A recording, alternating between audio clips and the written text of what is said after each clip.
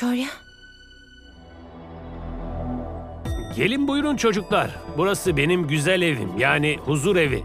Gelin. Ee, Hayır efendim gerek yok. Gelin kızım gelin gelsenize. Gelin hadi. Hadi gelin. Çok güzel diyorum. Hadi ama- gelin. Hadi ama- hadi. Kavga etmiyoruz. Oyun hadi. oynuyoruz biz. Ne böyle mi Baksana. oynuyorsunuz? Evet evet. Bak Hey hey beni bir dinleyin. Dinleyin bakalım. Gelin sizi tanıştırayım. Şunlara bakın. Onların adı... Mehek, Mehek ve. Şorya. Ama siz onları tanıyor musunuz? Evet evet Bacrangi. Biz onları tanıyoruz tabii. Evet, ikisi de çok iyi çocuklardır. Ee, sen gelmeden önce onlar bize yardım etmişti. Onların sayesinde bugün bir evimiz var bizim. Öyle mi? Bak Bacrangi onları biliyoruz. Ama sen onları nereden buldun?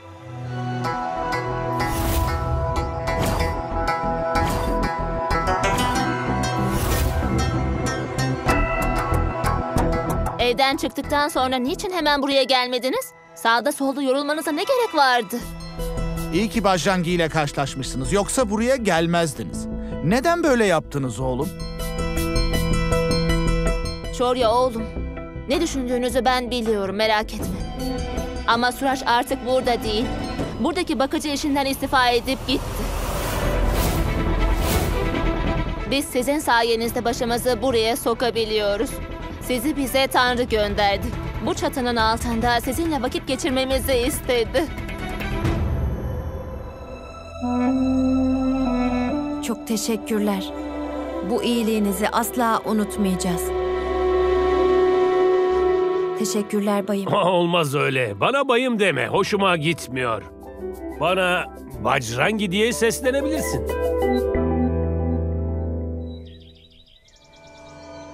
Bu çok güzelmiş. Nişan için bu Anceli'ye çok yakışacaktır.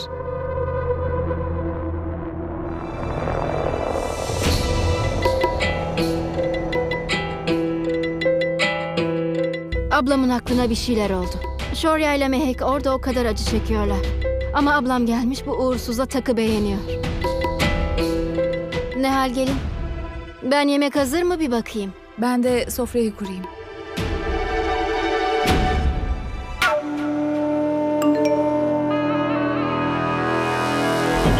İçeriden çıktıktan sonra huzur evinde kalmaya başladılar. Şimdi onlara ne olacağına biz karar vereceğiz.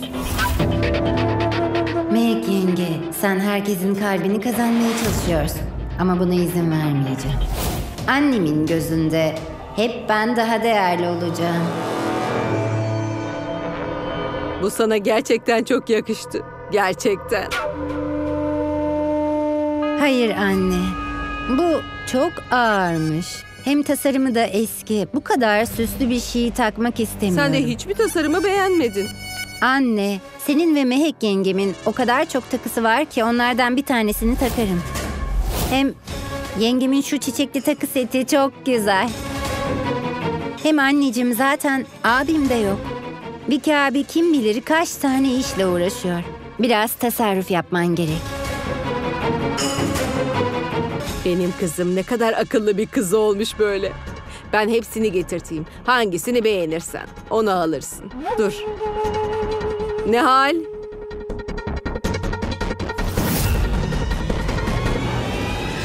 Kızım, Mehek'in dolabındaki bütün takıları çıkar. Anceli hangisini beğenirse nişanı için o takı setini kullanacağız. A- ayrıca anahtarı benim odamda. Oradan alabilirsin. Anneciğim, anahtarı saklayayım diye bana vermiştin. Her zamanki gibi. Benim güzel Mehek yengem. Başta evdeki yerini ele geçirmiştim şimdi de takılarını. Bir günde huzuruna geçireceğim.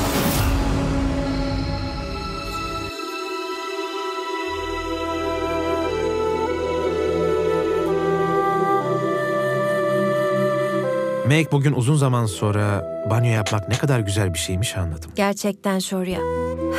Evsiz insanlar için hayat ne kadar zordur değil mi? Tanrı kimseyi öyle bir duruma düşürmesin. Biz de ne kadar şanslıyız ki burayı bulduk.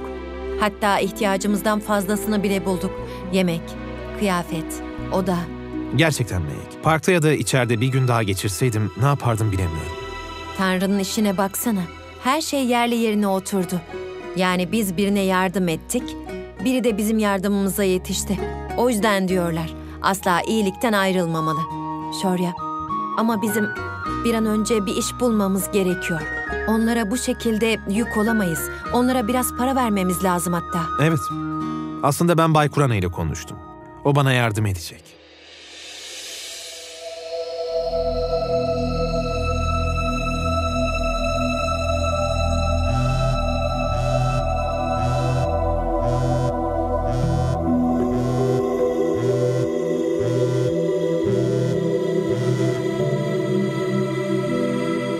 Evet Bay Kurana. Şorya, yarın sabah saat 9.30'da iş görüşmem var. Adrese mesaj atacağım. Zamanında gel. Tamam gelirim. Teşekkür ederim. Çok sağ ol.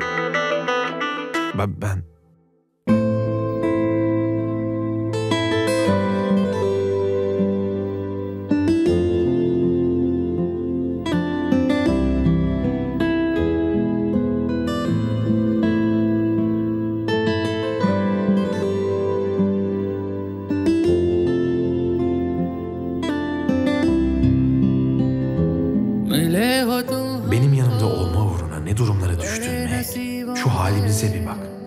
चुराया है मैंने किस्मत की लकीरों से Eğer bu iş olursa her şey düzelecek. मिले हो तुम हमको बड़े नसीबों से चुराया है मैंने किस्मत की लकीरों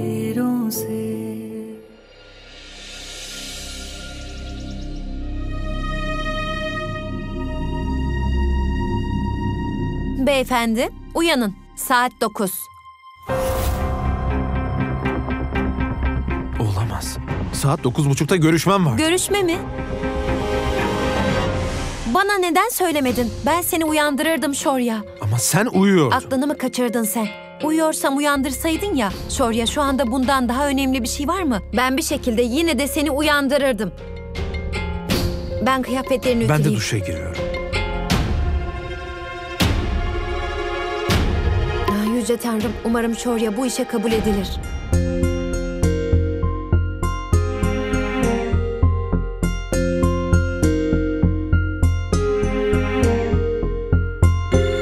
İyi şanslar. Meg, taksi için biraz para ihtiyacım var.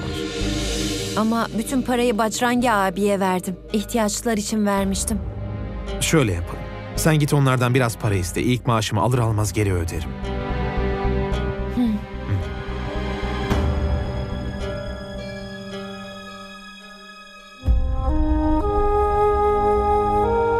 Para istemek konusunda hiç çekinmeyin olur mu?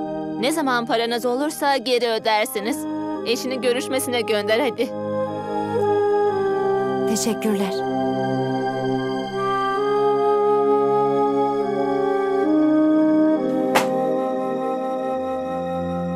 Teşekkür ederim. Borcum olsun. Sen çık hadi. Dinle, sen de benimle gel. Bak eğer iş kesinleşirse birlikte kutlama yaparız. İlk maaşından sonra. Şimdi olmaz. Hadi git. Bak, bana uğur getirirsin. Gel hadi. Evde bir iş olur. Burada iş falan olmaz. Hadi gel. Şu... Hadi. Daha fazla video izlemek için kanalımıza abone olabilir, ilk izleyen olmak isterseniz bildirimleri açabilirsiniz.